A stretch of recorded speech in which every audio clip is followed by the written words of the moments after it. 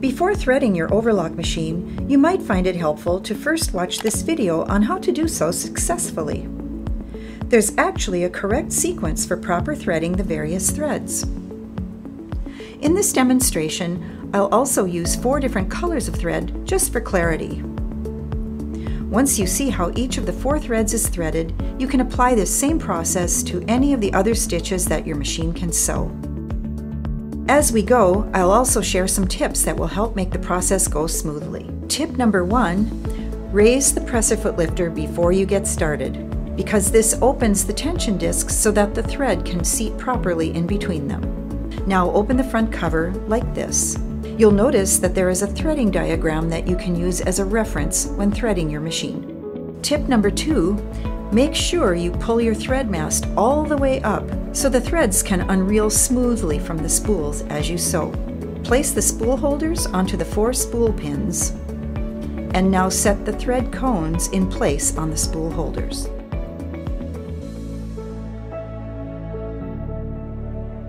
Tip number three, it is important to thread each of the threads in the correct order for the stitches to form properly when you sew. The correct order is upper looper first, then the lower looper. After the loopers are threaded, start with the right needle, followed by the left needle. It is important to remember that the needles are always threaded last, after the loopers.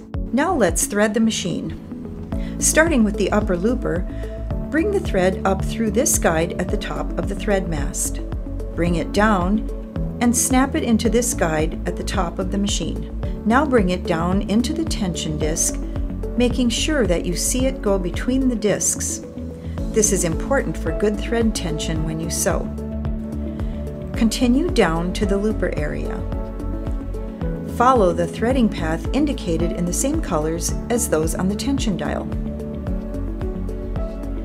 Thread the eye of the upper looper. Pull the thread several inches and bring toward the back under the presser foot. The lower looper is next. Bring the thread up through this thread guide at the top of the thread mast and snap it into this thread guide. Now bring it down into the tension disc. Follow the threading diagram that is displayed on the machine in this area.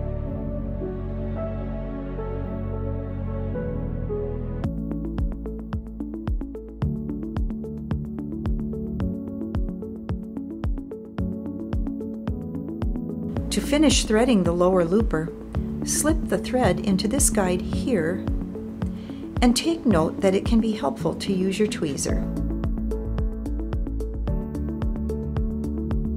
Now bring the thread around the back side of the looper arm and holding the thread with your tweezer, slide the thread over toward the left until it drops into the slot at the far end of the looper. Thread the lower looper eye and make sure that the lower looper thread is then placed over the upper looper. Bring the thread to the back of the machine and under the presser foot. Next is the right needle. Bring the thread up through this thread guide at the top of the thread mast and snap it into this thread guide. Now bring it down into the tension discs, bring it into these guides, and up over this guide. Then come down around this thread guide. Thread the right needle, then place the thread under the presser foot and toward the back. Last is the left needle. Bring the thread up through this thread guide at the top of the thread mast and snap it into this thread guide. Bring it down into the tension disc. After coming down this channel, bring it under this guide and up over this guide. Then come down around this thread guide. Thread the left needle, then place the thread under the presser foot and toward the back. Your machine's instruction manual suggests thread tension settings for each stitch that you want to sew. Close the cover.